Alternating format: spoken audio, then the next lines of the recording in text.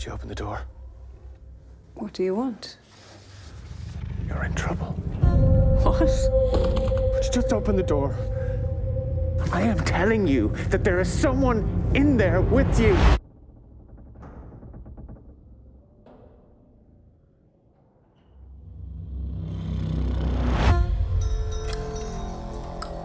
Why do you want it? He took my sister's life. I want to see what was going through his mind.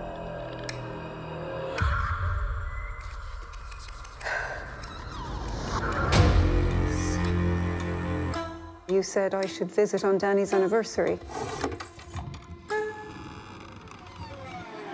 The thought of another patient showing up the front door here. Would you allow them in? Of course not.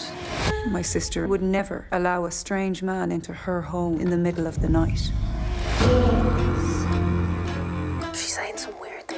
Things to me, Dad. She's clearly not well. Do you mind staying out here alone at night? I'm just telling you what I saw. Dani's ghost. My dead wife is not haunting this house.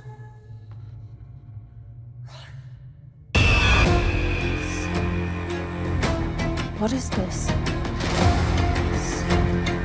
Put them back! This is not real.